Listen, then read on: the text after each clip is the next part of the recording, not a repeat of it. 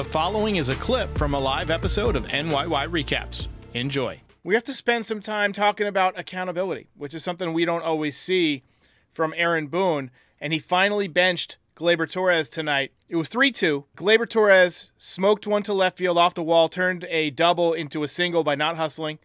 And then he couldn't score when Volpe ripped one into the corner. Cost the Yankees an important run at that time of the game. Now, TK, I guarantee that keeping Gleyber Torres on this team is a huge mistake.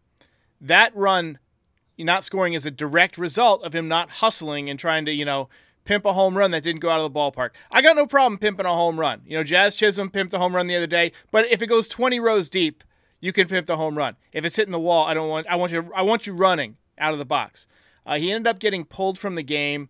You could see him pleading his case with Aaron Boone. Boone was not having it at all. Get off my bridge. And keeping him on this roster is going to kill the Yankees in a big spot. I guarantee it. Got any thoughts on Gleyber?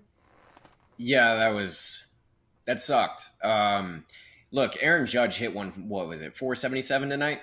Yeah, you hit one like that, you can pimp it. He never Right. does, but you can pimp it. Uh, Juan Soto's pimped it a few times, but yeah, like you said, if if you're especially those line drive home runs, you can't pimp those. Only Stanton really can because when he hits them, they stay hit. But especially Gleyber Torres in a contract year, having the season that he's having. Michael Kay made this point on the broadcast, but like you got to be giving it everything because he's lost hundreds of millions of dollars probably uh, during this season. He's lost a lot of money. So you got to, and he's going to end up signing a prove it deal. I'm, I'm, I can guarantee it. But absolutely. I was very vocal before the trade deadline. I was like, can we trade him for something like an arm, please? Like, I wanted him off the team. Now, if this doesn't get his act together, this like very public, because this is probably the most public benching or public sort of embarrassing a player that I've ever seen Aaron Boone do in his tenure as Yankee manager. So if this doesn't get Gleyber to be like, man, I really kind of have to get it together a little bit here, nothing will. And it's really hard to have like leash with him because I'm all out of leash with him. I, I, I just don't even know what you do at this point. Like you say, I, I they could DFA him because they're going to lose him at the end of the season for nothing anyway. I guess maybe Yeah. when they activate Berti, they would do that. They would consider that because really, what are you losing on offense with Berti? Right. He's a better better defender and he has more versatility as well.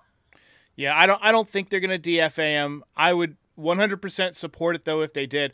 I'm not one of those guys that's like, you know, when George was alive, he would have done this, he would have done that.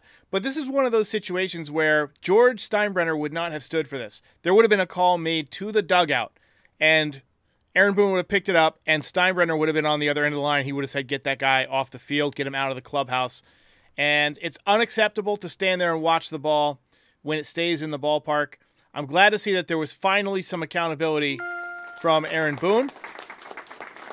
But yeah, I mean, a benching might not be good enough. I mean, we got two months left. Obviously, he can be a dangerous bat. I mean, the thing that led to this was he hit a ball 110 miles an hour basically off the wall. I didn't see the exit velocity, but I'm guessing it was smoked. The guy's got talent, but he's been the worst second baseman in the league. We have to endure base running blunder after base running blunder after base running blunder. He can't turn a double play at second base.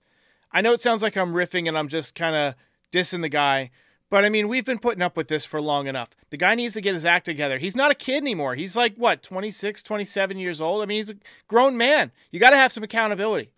I think he was 21 in 2018. I think, which was his rookie year. Um, but yeah, no, he's he's a grown man now. He should, and he's been here long enough to know better. Um, it's really frustrating to watch. The only kind of um, comfort I take into the situation is that he won't be on the team next year. And uh, Jazz, that guy who's been here five minutes, who's willing to looks like he's willing to kind of give everything to this team, including Yep. his body. Um, and he'll slide over very nicely at second next season.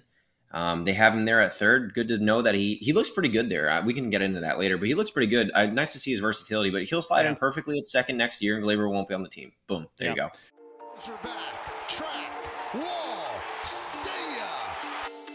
If you enjoyed this video, please like and subscribe. It helps other fans find the channel. NYY Recaps is also available on all your favorite podcast platforms, and we'll see you next time.